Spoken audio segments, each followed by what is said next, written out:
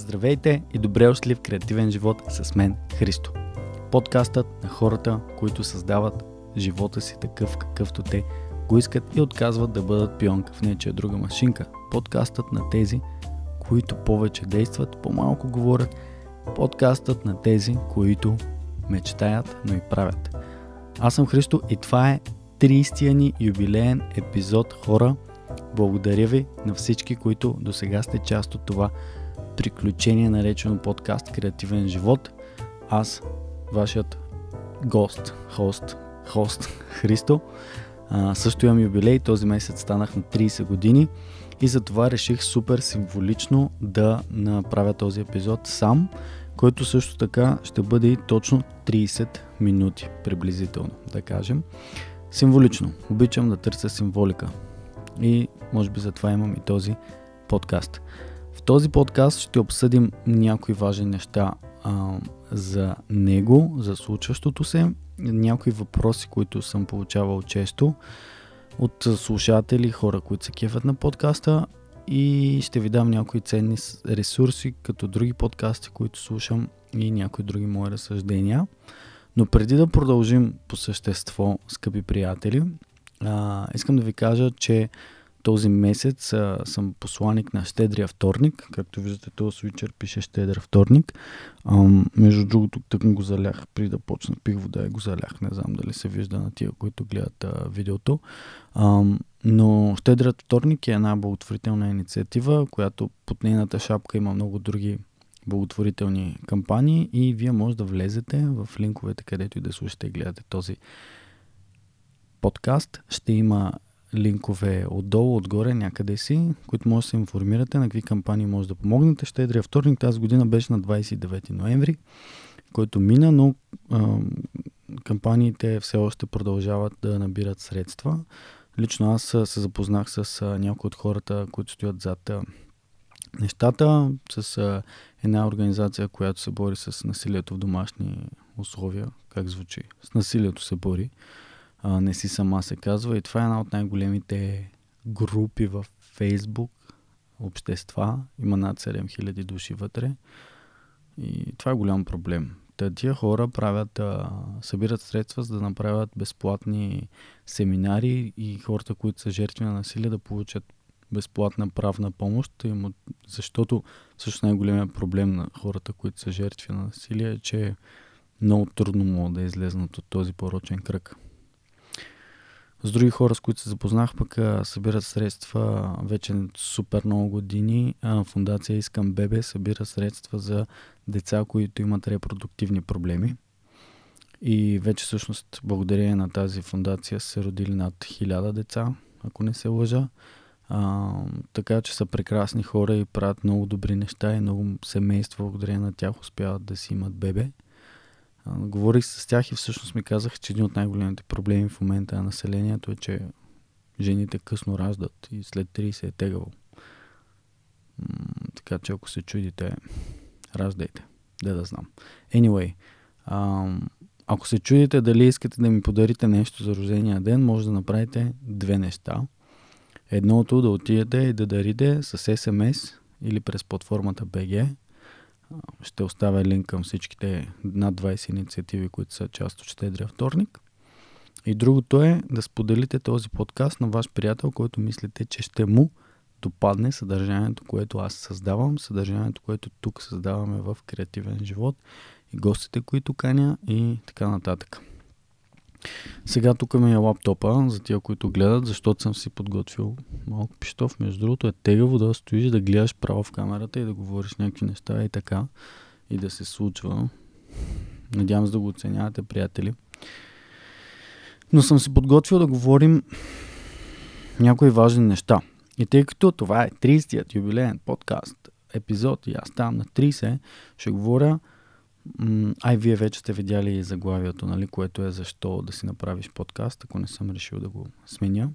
Ще говоря за това какво аз си взех за тия 30 епизода и защо всъщност този подкаст е толкова важен за мен и за живота ми.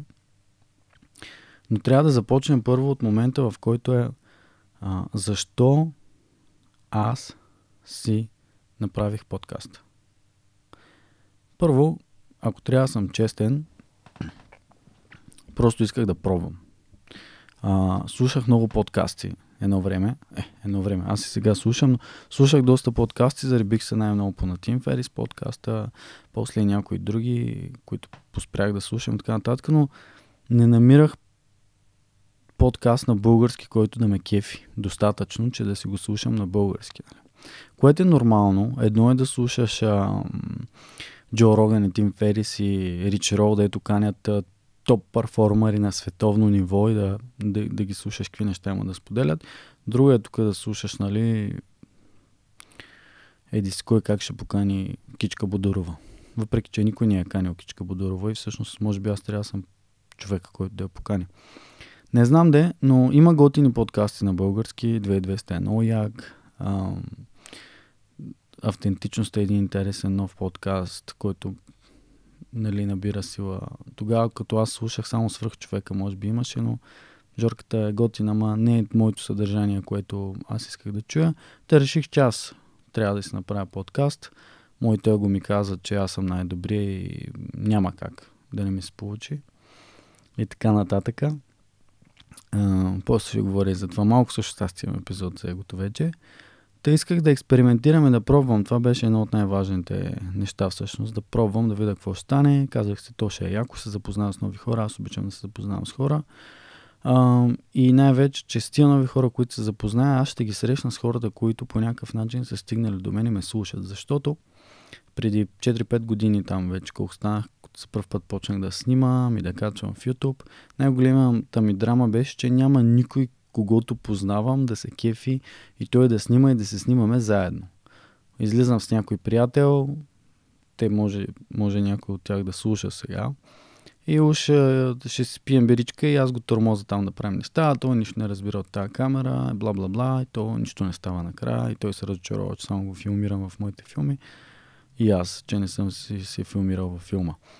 Та знам, че има и други хора, които стръгълват с това и исках да ги срещна с други интересни, креативни а, личности.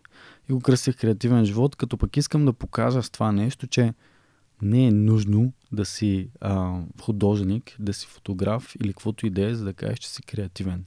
Не е нужно да си писател или whatever. Начинът по който живееш, живееш живота си го прави креативен. Начинът по който възприемаш себе си, начинът по който работиш го прави креативен това да създаваш го прави креативен. Ако искаш да създаваш, сто пъти съм казал, ако си инженер и намериш нов интересен начин да решиш проблема, който имаш или да направиш ново устройство или каквото и да е, това е супер свърхкреативно нещо. Нали? Така че искам и това да покажа. Той да си счетоводител пак може да си креативен. Даже ако искаш да си добър, според мен, счетоводител трябва да си креативен. Или каквото и да е, ако искаш да си добър в днешния живот и днешния свят, ти трябва да проявяваш някаква креативност, ако не искаш след някакво време някаква машина просто да те измести. Докато не са станали машините креативни, общо взето.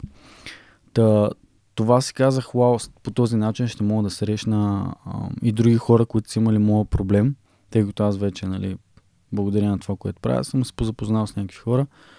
Ще мога да срещна с други готини хора и себе си, и хората, които имат моят проблем. Това беше основното, което осъзнах, че мога да дам, нали, иначе що да го правя. Колкото и да ме кефи, просто да пробвам. Въпреки, че е достатъчно дори само да пробваш. Но всъщност това, което се случи е най-интересното и, и затова бих казал, затова кръстих това заглавие защо трябва да си направиш подкаст. Защото каквото и да правим в живота си, в един момент ние почваме да го правим с някаква цел, обаче самият път ще ни заведе до места, които ние не сме очаквали, че ще бъдем. Вчера гледах едно филмче за един много добър стрит фотограф с много странно име, Джоел. Както и да е, той каза, всеки ден взимам камера и излизам на улицата и светът ми предлага неща. Те ми се случват, аз участвам в тях и ако бях останал вкъщи, нямаше да ми се случи нищо. Така че това е достатъчно. Но ти не знаеш какви неща ще ти предложи този свят. А, имаш едни подбуди, едни намерения, важно е да ги имаш, но пътя винаги ще заведе някъде. И мен къде ме заведе пътя? Заведе ме да осъзная едно много важно нещо, както преди малко ви казах ам, и за егото. Първо, че този подкаст не е за мен. Ама въобще не е за мен. Аз съм просто един инструмент. Моята работа е като имам гост или ако нямам гост, имам информация. Аз съм един инструмент, през който да мине тази мъдрост на госта, като му задам най-правилните въпроси го предразположа и навигирам разговора, да извлечем най-много стойност за човека, който го слуша и гледа. В момента за теб, защото най-вероятно като слушаш подкаст си сам или сама, или с най-много да си с още един човек да пътувате в кола, да сте решили да шернете нещо, не знам, с половинките си слушате ли подкасти, например. Напишете в коментар отдолу, това би било много интересно. Дали някой се слуша с жената или с гаджето подкаст. Ам, това осъзнах, че работата ми на мен е да съм инструмент и да го правя за хората и най-ценното нещо, което научих за себе си е да слушам. Защото аз като един екстровертен човек, който обича да участва в света ам, и правя тия клипчета в YouTube от, от известно време, без значение колко голяма аудитория имам или нямам, то моето желание винаги е да, да се изразя. Дори работата, която върша за клиенти, свързано с видеопродукция и маркетинг, пак взимам тяхното послание и моята цел е да го изразя по някакъв начин. Докато тук се научих да слушам. Бих казал, че най-накрая, малко преди да стана на 30, почнах да се уча да слушам и да осъзнавам колко ценно умение е това нещо да, да слушаш. Защото то до някаква степен си е умение. Както скоро каза Сет Годин в един подкаст, който ще ви препоръчам след малко можеш да, бъде, да си добър слушател и да си харизматичен са различни неща. Хората често ги бъркат, но са различни. Но един добър слушател може да ви подведе, че е харизматичен. Защото всеки обича да го слушат. И ако сте добър слушател, хората ще се зарадват да говорят с вас всъщност. Така че да слушам е нещо, което най-много развих за себе си, осъзнах колко е силно и ценно, защото като го взема от подкаста и го приложа в работата ми с клиенти и го предложа в отношенията ми в личния ми живот, това най-важното нещо. Да слушам с внимание, защото аз много лесно губя фокус. Не знам дали имам ADHD или нещо подобно, но много лесно губя фокус и концентрация и понеже съм понякога свръх такъв ентусиазиран, а, и енергичен, ако изпия и две кафета, имам огромно желание да правя много неща и мозъка ми постоянно мисли, съм много разсеян и спирам да слушам. Това е един механизъм, който съм си изградил като малък, да, да не слушам много какво ми говорят и да се живея в моя свят. Учейки се да слушам, аз присъствам много по-добре в живота си, в отношенията си и в работата си, която върша. Това е най-ценното нещо. Така че за мен това е най-ценното. За теб сигурно ще е нещо друго, но със сигурност ще научиш нещо. Дори, дори да научиш, че това не е твоето нещо, пак ще е много ценно, пак ще е свръх ценно. Общо взето, за да завърша с тази част на подкаста, която стана по-дългичка, струва си да опиташ защото нещо те тегли на там и си мислиш, че ще направиш хикс неща и ти ще ги направиш най-вероятно, както аз успявам да свържа хората с други хора, да представя гости си на аудитория, която се интересува от него, да експериментирам, да колаборирам, да се запознавам. Но всъщност получих нещо много свръхценно. Да се науча да слушам.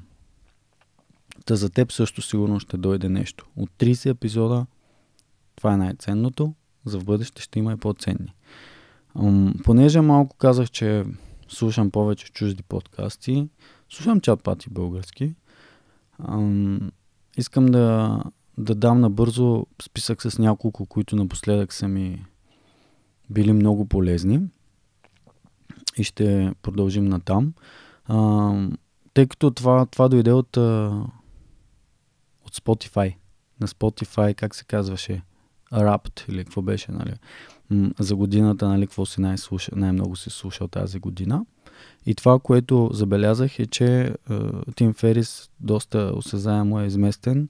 Тази година съм слушал много повече Крис До. Крис До е един пичага, който е дизайнер и се занимава с а, това да обучава хората да са добри солопреньорс, ентерпреньорс и да са добри а, кри, креативни предприемачи, хора, които правят пари от дизайн, от а, копирайтинг, от фотография, видеография, общо взето, или създават малки агенции. А, и ги обучава на това. Ако не сте го чували, само една интродукция към него. Искам да ви кажа, че има няколко епизода, които тази година ми свършиха отлична работа и ме вдъхновиха и ми даваха практически насоки. Това са, аз ще дам линкове отдолу. 185 епизод, който се казва You don't need to be an expert. А, който е с един пич, който е почнал да прави туториали, свързани с музика и е изградил такава кариера за себе си. Общо взето само предприемчиви хора. И доста интересен поглед даде над нещата за това, че не е нужно да си експерт, нали, за да почнеш да споделяш нещата, които знаеш или да ги правиш. Може да си ентусиаст. Това Гари ви го каза, нали, че той възприема себе си като ентусиаст. А, ще има линк към този епизод, ще има линки към още два. Единия 189 е Making Time for Yourself с Крис Франклин, който разказва за за начина по който създава видеографския си бизнес. За мен това беше свръхполезно. Ако не го бъркам с един друг гост, разказва и за... Винаги нещата са свързани с детството, травмите, нещата, които си мислил, че искаш да работиш и нещата, които всъщност работиш. Той разказваше за това как е щял да следва медицина заради семейството си, ама всъщност то грам не го е влечало, да почва дизайн и видео да прави и става успешен предприемач. И един много интересен епизод, 202, Making a Marketing Strategy from Scratch. А, всъщност мисля, че има два епизода, може да бъркам, но с много интересна гостенка, която споделя как тя направила своята дизайн агенция и дава много добри съвети за това как да правим sales, email маркетинг и прочее, които са преработили за нея. Бих казал, че опитах да направя някои неща, горе-долу проработиха, но не ги направих всичките както тя описва, защото пък са много стъпки. Така че Крис До е тази година беше за мен най-слушания подкаст, който аз слушах и неговите гости. Препоръчвам го на всеки, който се опитва да развие фриленс кариера, малък бизнес и всеки, който търси кариера нестандартна и свързана с по-скоро не създаване на продукти, но и услуги, но и продукти, които пък могат да бъдат дигитални, разбира се. А, но всеки, който е в креативната сфера предприемач. Много е добър. Не, не бих казал, че съм Skyrocket, като го слушам и нещо съм много развил аз самия, но много е полезно това съдържание. А, и на Тим Ферис искам да ви препоръчвам последния епизод, който му гостува Сет Годин. Сет Годин, бестселинг аутор, бах ти предложението, извадих аутор. занимава се с а, маркетинг, с, в, буквално е светил в а, тази а, сфера. Предлагали са му дори да оглавява Яхо, като той е отказал, защото си имал други приоритети. Човека 20 книги е написал, последната му е брутална, каза се да практис. Та, това му е третото гостуване пред Тим и направо ми махна главата. Това е най-доброто нещо, което съм слушал напоследък. Ам, разглежда теми свързани с перфекционизъм, разглежда теми свързани с това, че да имаш anxiety, значи да изпитваш провала in advance, което е много интересно и че перфекционизма е най-доброто оправдание да не свършим нещо и да не шипнем нашата работа. Аз съм много, много на това мнение много вярвам, че най-голямата пречка е да се опитваме да направим нещо перфектно, защото то перфектното не съществува. Тя е иллюзия в главата ни, което ние се слагаме като пречка. Като наредя светлините перфектно, тогава ще направя подкаста. Когато спра даъкам и мъкам и заеквам, тогава ще направя подкаста. Не мога да кача епизода, защото 30 секунди примерно не гледам в камерата. Или има лек шум, бла бла бла. Няма как да стане перфектно. Но всеки път може да става по-добро. А, за всеки, който се опитва да качи парче информация в интернет, този подкаст ще е изключително свръхполезен, Бих се радвал, ако го изслушате, пишете ми после, може да обсъждаме някакви теми и ако имате въпроси за нещата, които казах до сега, кажете, а, пишете ми пак и може да ги обсъдим за, за в бъдеще в подкаста. Мислих повече време да отделя тук на тия неща, но осъзнавам, че няма нужда толкова да преразказвам информация. И ще мина, ще отделя последната една трета част от този подкаст, да отговоря в няколко въпроса, които на мен са ми задавани най-често свързани с подкаста и съм убеден, че сте, сте ви много полезни. И между другото забравих да ви кажа, че а, извинете ме, тези неща, предните подкасти, които ви казах, че са свръхполезни, ще направя списък по-детайлен с а, някой от тях и ще го изпратя на моя имейл лист, бюлетин, който се казва от хубавото. Вече 65 човека са се записали на него, всъщност 63, защото двама се отписаха. Много се радвам. И ще получите списък всички абонати. Ако искаш ти да получиш списък, абонирай се. Първо ще изпратя а, един имейл, който ще бъде с а, имейл листи и бюлетини, които аз съм се записал и са много готини и черпа информация за тях. Тъй като скоро не съм пускал бюлетин, това ще са следващите. За хората, които са се сабскрайбнали очакват, да знаете, не съм спрял, просто известно време не можех да пращам и не исках. По-добре беше за мен да не пращам. Сега обаче ще има пак. То беше не толкова дълга пауза. Така че запиши се, запиши се ти, който слушаш и гледаш, приятелю, ако искаш да получиш списък с подкастите и с бюлетините, които са, са готини. И не забравяй, че а, може да ме подкрепяш, като коментираш и имам Patreon страница. Но да продължим с това. Едно от най-честите неща, които хората ми, ме питат, свързани с подкаста и, и контента, който правя, сигурно си много заед, как успяваш да правиш толкова много неща. Хм. То до някъде е така, обаче, както каза един от последните ми гости в подкаста, Макс Баклаян, аз съм много заед с нещата, които искам да правя. Аз съм много далеч от това да съм свръхзаед и свръхтърсен човек. Имам такива периоди. Телефона звъни, някой иска да правим нещо, някой приятел да се видим, аз го отлагам. Но се фокусирам да правя нещата, които искам и са важни за мен. Те стават... Проблемът е, че аз искам да правя много неща, но осъзнах, че най-доброто нещо е да махаме неща, и дори да искаме да ги правим, по-добре да спрем да правим нещо, за да може да наблегнем на друго конкретно нещо в рамките на 6 месеца или година, да напреднем достатъчно, да измислим как да приоритизираме и да продължим. Другото, което ми помага лично на мен да, да съчетавам е да си пиша. Знам, че звучи абсурдно, но имам чувство, че някои хора толкова... Това е най-просто и най-подценявано нещо – Моята учителка по български казваше, ако имате който помни, който не може да помни като мен, да си записва. В смисъл такъв, не само за да забрави, да си записваш, защото ще забравиш, но за да си записваш, да знаеш на къде вървиш и в каква посока си. Това, което аз правя е имам, ползвам Notes. В Notes имам няколко различни тетрадки, във всяка от тях имам, в някои имам стотици бележки. Разделил съм си една за подкаст, за бизнес за лични неща и за ежедневни неща. И за YouTube отделно и social media пост. И във всяко нещо си имам други неща. Трудничко е, но това помага а, зверски много. И да си заед само с нещата, които всъщност искаш да правиш, е най-важното и да внимаваш на къде си даваш времето. Със сигурност, ако продължа, бих искал а, още повече да ми се налага да казвам не. За мен това значи е признак, че съм прогресирал. Другото нещо, което най-често получавам като въпрос за подкаста е как избираш да каниш гости? Познаваш ли ги тия хора? В началото започнах супер сейф, като поканих хора, които познавам от години буквално, за да ми е по-спокойно, за да не се притеснявам.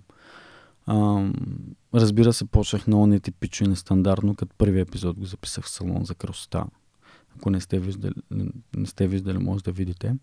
Минавам от ти на вие, от вие на ти, множествено единствено число, като някой не до там възпитан. Мургав, неграмотен човек. Но, мале, тук му съдят за расизъм, край. А, но започнах сигурно. И после всеки гост, който каня тук и следващите, които ще дойдат, са личности, които на мен са ми интересни и мисля, че можем да създадем стойност с тях.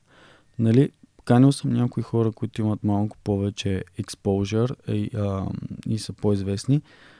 Те не случайно и някои са известни, защото са интересни. Но никога няма да каня хора само, защото са известни. Виждам как много други хора го правят. Не ми е това целта. Не искам да ставам известен. Искам 1000 True Fans, както казва Кевин Кели в едно есе, препоръчвам да се прочете. Искам лоялна, сплотена аудитория, на която да служа и да създавам стойност. В България тия хора са малко, много малко. Има още до които мога да стигна. Искам смислените хора, защото този подкаст е нещото, с което аз мога да допринеса средата да стане по-добра. Като се свързвам с готините хора и те се свързват с другите готини хора, единственият начин така е да променим България към по-добро. Това е моя принос, който мога да дам. Ам, не е толкова голяма страна България. Вярвам, че има достатъчно смислени хора, с които да се свържим. Защото ние трябва да си помагаме. Иначе сивотата на обикновения чалга простак ще ни погълне и ще искаме всички да емигрираме. Не е ли така? Кажи ми, не е ли така? Не си ли го мислиш понякога? Е така, като те... Както и да е. Та така избирам гости. Как избирам и за, и за това ги избирам? Защото са хора, които вярвам, че ще служат на аудиторията. Ако ти, който слушаш сега, имаш а, идея за гост готин, прати ми го. Случило ми се вече за щастие. Ако ти си готин също може, ама повечето готини хора рядко се предлагат сами. Случило ми се и отказвам. Така. Въпросите как ги избирам ми е другия въпрос, който често ме питат хора. Е правя си ресърч за човека. Ако го познавам горе-долу, знам какво искам да го питам. Ако не, той, аз имам дженен интерес към този човек и неговия труд. Има неща, които са ми интересни от работата му, искам да го питам. В повече случаи толкова много искам да питам, че не ми стига времето. Както прием беше с Свилен Начев, който занимава стрит фотография. Страхотен а, творец, страхотен епизод, препоръчвам ви го. Създавам няколко основни теми, които ме интересуват. Подкастите ми имат структура. Не знам, някои нямат, някои изглежда, че нямат, но както ми каза един гост, всъщност като изслушах подкаста, осъзнах, че ти си имал структура. Да, създавам няколко основни теми, от които се движа. В повече случаи свързани с предприемачество, бизнес, лично развитие, личностно развитие, mindfulness и така нататък и може би физическо здраве и физически неща. Нали? Това са нещата, които засягаме тук като теми.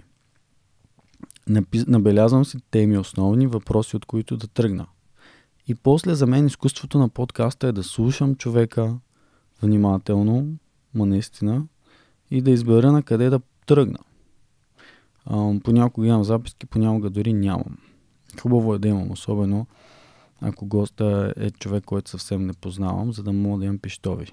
Но забелязах, че много от вас, нали, от хората, които гледат по-скоро, не само слушат, а, им прави впечатление, че си цъкам на нещо. Аз просто съм си ползвам, примерно, телефона, за да чета какво съм се записал. Та, за мен е неща, които са интересни, няколко теми с подвъпроси, които да служат за резерв. Ако не успея да вляза в разговора и да слушам на къде отива човека.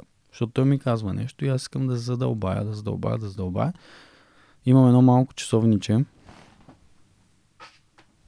За пресегнах се само да го взема. И тук си стои и се ориентирам до коя минута съм и така знам дали е време да сменям тема, как вървим за времето и така нататък. Така избирам а, въпросите. Остана малко време и затова ще отговоря бързо на следващите две. Едното е колко пари изкарваш от YouTube, много често ме питат хора. Сега поспряха, защото аз спрях и да си говоря с тия хора. Но по-културните хора питат монетизирал ли съдържанието си. А, при месец и половина някъде ми позволи YouTube да се монетизирам канала или два месеца. А, и имам 5 долара и 42 цента от реклами, които са преди данък. И аз дори не мога ги изтегля, защото са супер малко. Така че 5 долара от реклами. И от пейтрините около 100 евро съм получил до сега. Всичко е отишло за подкаста. Както всичко, нали, тук това студио има найем, тия микрофони струват пари, бла бла бла. Не го правя този подкаст, за да изкарвам пари от него, правя го, защото ме кефи. Бих искал той да се монетизира в един момент, за да се самоиздържа. Защото той се издържа от мен и моята, моят малък бизнес, който създавам. и си го действам сам. А, това е следващия въпрос, нали? Какви цели си поставил за напред? Ще отговоря не за моите лични цели, а за целите, които има подкаста и то е много прост да служа по-добре на хората, които ме слушат. На аудиторията, на вас, на теб, до който си стигнал до тази, до, до тази 29-та минута някъде, guess. Защото това е най-важното. Целта номер едно е да служа по-добре. Ето. 30 минути минаха. Приключваме с подкаста. Това е цел номер едно. Да служа по-добре на аудиторията си. Как ще го разберем? Много просто. Аудитория, която е добре обслужена, ще е по-ангажирана, ще получавам запитвания, коментари, може би ще се дигнат гледанията и така нататък, но за мен са важни хората, които са сега и до сега тук. Другото нещо, което мога да... Защото като си поставяме цели е много важно нали, да можем да ги измерваме. Понякога няма нужда да измерим, защото е очевидно. Нали. Ето, запитва коментари, съобщения, гледания и ангажираност са признаци, че служат по-добре на аудиторията си. Друго нещо, което като си поставяме цели е важно а, а, е да знаем, че постигането им може да зависи от нас по някакъв начин, а не искам това да стане, просто е така. Тоест да не бъркаме целите с желанията както каза Рей Далио в книгата си, да не бъркаме goals with desires. Нали?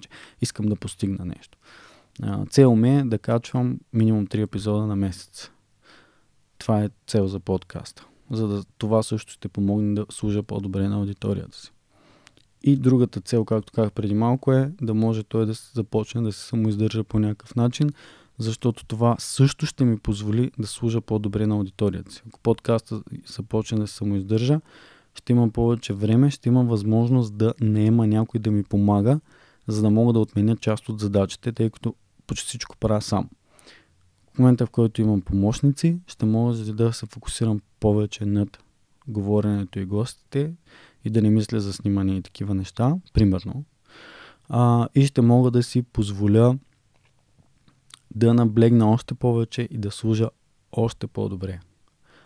Затова Друга цел е да привлека спонсори към подкаста, да служа по-добре и евентуално да дигне и пейтрианите, като а, искам като почна да се вдигат, да мога да дам и там някакъв инсентив и бенефит и второ ниво подкрепа. Така че това е. Това са трите неща, които те са свързани всичките с едно. Бих искал да подобря, извинете, в този подкаст за в бъдеще. И това беше нашите 30 минути за 30-ти ни епизод. Изтекоха. А, имаше, може би, още някои неща, които добавих. Благодаря ви, че ме изтърпяхте. За мен е цяло чудо, че това се случва. Имам статистиката и виждам нали, колко хора стигат до края, колко не стигат. Наистина, сега съм сам в стаята и е малко шанта от хора, честно ви казвам. А, и то мозъка ми не го побира. Благодаря ви супер много. Няма значение. За мен е огромна чест и привилегия това да запиша някакво парче информация, звук и картина и някой от среща да го гледа. Невероятно е. Всеки може да го направи. Ти можеш да го направиш.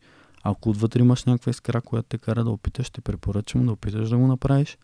В най-лошия случай ще виж, че не те кефи в не толкова лошия ще се заребиш, в най-добрия можеш да промениш много неща за много хора. Благодаря ти супер много. Използвай вариантите, които да подкрепиш подкаста, които вече не знам колко пъти изборих. И ще се видим скоро. Следващият епизод ще бъде интересен, който ще бъде ам, компилация от най-добрите епизоди до сега. Нещо такова, подаръчно празнично, чекирки. А, и след това има интересни гости. Това е другия най-често задаван въпрос. Кой гост следва? Искам и не мога да ви кажа, говоря с 4-5 човека в момента за следващи епизоди. Всичките са супер заети, супер интересни а, артисти, предприемачи и така нататък. И се надявам с всички да успея да запиша. бих искал да ликна информация, ма не мога, затова следете. Следете тук в YouTube, в Spotify, Apple Podcast, Instagram, TikTok. Подкастът е навсякъде. Пишете коментари, споделите и най-добрият подарък, който мога да получа от теб за рождения си ден е да споделиш любим епизод на този подкаст с твой приятел, който си мислиш, че ще му хареса съдържанието. Благодаря и до скоро. Чао, чао!